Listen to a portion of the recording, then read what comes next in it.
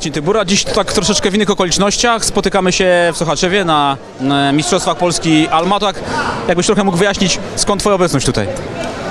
Przysze- Przyjechałem y, wspierać zawodników y, zarówno klubu S4, jak i mojego wcześniejszego klubu United Dreams Podębic. Walczą dzisiaj, miałem wolną niedzielę, co się rzadko zdarza, więc przyjechałem z nimi, oglądam walki i pomagam, kibicuję. Wolna niedziela z MMA. To nie ma wolnej niedzieli z MMA, jak widać u Ciebie. No, no nie ma, no ale to taka rozrywka też dla fana. Ja jestem też fanem MMA, to dla mnie rozrywka. Jesteś fanem MMA, dla Ciebie to rozrywka, ale też ta rozrywka ma swoje no, takie poważne wymagania. Nie da się ukryć. MMA to dla Ciebie również obowiązek, jakby na to nie patrzeć. E, Obowiązek, y, który po raz kolejny teraz y, staje się takim poważniejszym jeszcze obowiązkiem. Wiadomo, kolejna gala, kiedy już przed Tobą, to będzie na Brooklynie, takie miejsce. No właśnie, Brooklyn. Podoba Ci się na Brooklynie, tak na marginesie gala? No mi się podoba, że jest Nowy Jork, bo jeszcze nie byłem. Czy Brooklyn y, mi się podoba, to jeszcze nie wiem. Zobaczymy na miejscu. Fajnie, że to, że, że Nowy Jork, bo ta sama strefa klimatyczna podobna i, i tylko chyba 6 godzin różnicy, więc fajnie. Gala na Brooklynie, gala w Nowym Jorku, gala numer 208, gala numerowana Luis Enrique Barbosa de Oliveira, chyba tak się nazywa ten twój najbliższy liver.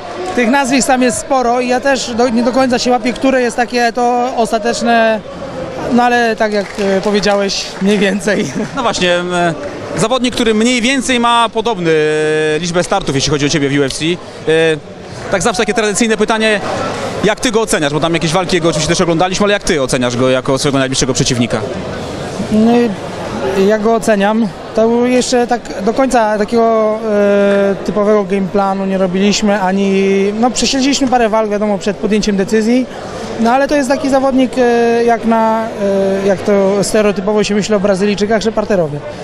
I myślę, że on e, będzie dążył do parteru, jest e, clinchuje, spycha do siatki, tak, e, no i obala, tak myślę, że będzie, będzie mm, taki styl jego. Na ten styl przygotowujesz się przede wszystkim gdzie? Gdzie będziesz przede wszystkim się szykował do tej walki? W Warszawie, czy jakieś wyjazdy ewentualnie planowane są jeszcze? Oj, chyba nam troszeczkę tutaj kamera się poruszyła. Ja z tą kamerą i z tobą to mam zawsze... Ruszyłem. Ty się ruszyłeś, ale z kamerą też mam zawsze jakieś problemy. Tak czy inaczej, wracając do pytania, czy tylko w Warszawie, czy jakieś pomysły jeszcze inne ewentualnie te przygotowania są? E, No nie, na razie mamy w planach tylko Warszawę. Jeżeli będzie potrzeba, a myślę, że będzie, no to za jakiś sparring partnerów ściągniemy po prostu do siebie. i Jest tam jakiś już e, wstępna e, lista osób, do których się zwrócimy o pomoc. E, No, i mi się wydaje, że wyjazdy, wyjazdy nie będą konieczne. Tak wracając do twojej poprzedniej walki, to wszyscy, którzy gdzieś tam ją wspominają, kojarzą ją, e, wiadomo, z zakończeniem przede wszystkim. Narobiłeś mnóstwo apetytów wszystkim na te jakieś efektowne końce zakończenia tych swoich, tych swoich pojedynków. E, No właśnie, teraz też coś szykowanego jest specjalnego na tę walkę? Tak jak mówiłem wcześniej, no nie, nie mamy jeszcze takich konkretnych założeń na to. Żadny nawet tak coś nie myślisz, co byś chciał tym razem gdzieś? No tak prawdę mówiąc, to, to skończenie tej walki ostatniej to było trochę planowane. Może nie było tak, że, że tak czysto wejdzie i ładnie, ale mm, tam trenerzy zauważyli ten moment, gdzie, gdzie ten e, e, high kick lewy można zmieścić. Więc to było zaplanowane. Teraz nie mamy na razie jeszcze nic, ale z czasem coś, coś konkretnego wypracujemy. Tak patrząc na to, co dzieje się w wadze ciężkiej, można powiedzieć, że e, może nie następuje jakaś zmiana warty, ale na pewno zawodnicy, którzy gdzieś tam troszkę byli jakby w cieniu, zaczynają z tego cienia wychodzić. Między innymi ci, którymi ty walczyłeś, e, z którymi walczyły Damian Grabowski, Anthony Hamilton, e, Derek Lewis, no właśnie, Marcin Tybura też.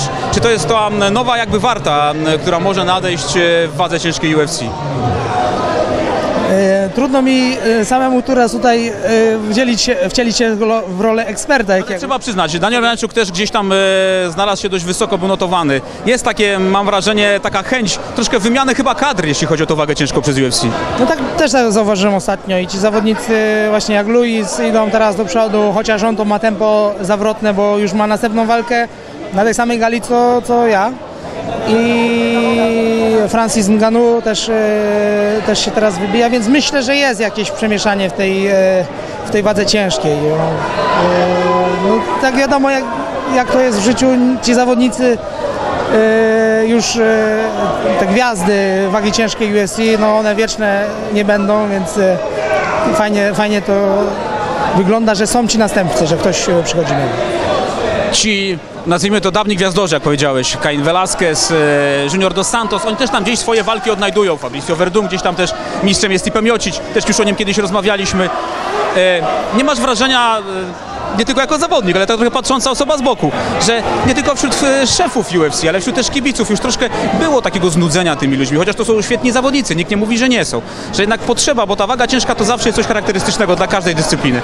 Że trochę potrzeba jednak e, tej świeżej krwi że to jest szansa chociażby dla ciebie. No, ja nie wiem, czy ja mogę o tym mówić. Na pewno możesz.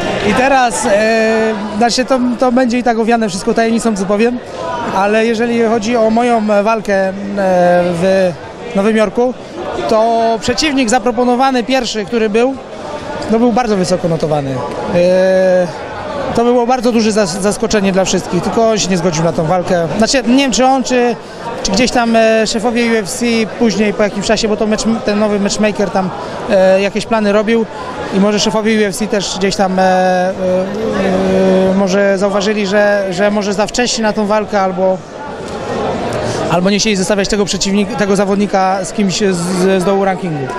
Więc myślę, że jest jakaś, jakiś taki pomysł na to, żeby mieszać tych zawodników już i dawać im szansę e, tym, e, tym e, z dołu rankingu mieszać się i, i zbudować swoją markę na tych zawodnikach no, stopu. Więc, więc jest, jest coś takiego, zauważam to sam. No właśnie, tak się, tak się wydaje. To powiedz chociaż, czy to chociaż jakiś były mistrz był, przynajmniej tyle zdrać. E, Nie mogę odpowiedzieć na to pytanie, więc niech to będzie odpowiedź na to pytanie. Dobra, fantastycznie, to już teraz wszystko, wszystko prawie wiemy. E, słuchaj, do, do, tego, do tego lutego jeszcze troszkę czasu nam zostało. Mówisz, że będziesz tutaj w Warszawie się głównie przygotowywał. Daniel Mielańczuk też ma jakieś swoje plany, e, też będzie się przygotowywał gdzieś tam do tych swojego występu. Jest jeszcze Janek Błachowicz. Ten team, jak rozumiem, się nie zmienia. Grupa, z którą będziecie wspólnie gdzieś tam trenowali, to jest ta cały czas stała, stała która gdzieś istniała, jeśli chodzi o wasze towarzystwo. No tak, tak, jest e, ciągle jeszcze e, jesteśmy się poznajemy, no i ciągle są ci zawodnicy, którzy przyjeżdżają. Nie tak, że są u nas na stałe, ale często przyjeżdżają posparować i to e, sporo moim zdaniem tych ciężkich przyjeżdża tutaj do nas do, do, do klubu. No bo jest u nas ekipa też i mają z kim porobić zawsze. E, Czy to jest jakikolwiek to jest okres przygotowań, to tam zawsze z ktoś jest. No, Kevin teraz dzisiaj już jest po pierwszej walce wygranej. E, no, liczę, że zostanie mistrzem Polski, więc e, następny utytułowany zawodnik e, będzie u nas w klubie, chociaż on już jest mistrzem świata. więc, e, więc mistrz Polski tego nie przebije, tak, teraz, teraz mi się o tym przypomniało. No więc ta ekipa jest mocna i, jest, i są ci zawodnicy z zewnątrz. Tak, kończy nam się rok, do tego pozwolisz, że na koniec Cię zapytam podsumowania tego 2016 roku dla Ciebie. Jak oceniasz? Jaki to był rok? Dobry, zły, mógł być lepszy? Spodziewałeś się więcej? E, powiem tak, no, spodziewałem się delikatnie więcej e, z racji tego, że miałem walkę zaplanowaną, tutaj chłopaki robią, Tak właśnie widzę, że starają Cię rozproszyć, ale to proszę byś patrzył mi w oczy, tak. Michał Krysma też jest po walce, no niestety nie udało mu się Cieszy się, jak widać. A przegrał. Przegrał, ale on jest zawodnikiem też e, wywodzącym się ze stójki, ma bardzo moc, mocną stójkę. Ten parter zaczyna robić z nami i, i w tej płaszczyźnie niestety przegrał w parterze. Widzę, że stójkę ma niezłą, nawet jak teraz tak tutaj stał za nami, to też tak w tej stójce pokazywał wiele, wiele ciekawych tak, e, ruchów, tak. Tak, a rozmawialiśmy wcześniej o roku. O roku, jak Ty oceniasz? E, o tyle uważam, że mogłoby być lepiej, że nie, nie, ta walka moja została z, Odwołana ta gala cała, tak. odwołana i, no i mam tylko dwie walki w tym roku stoczone.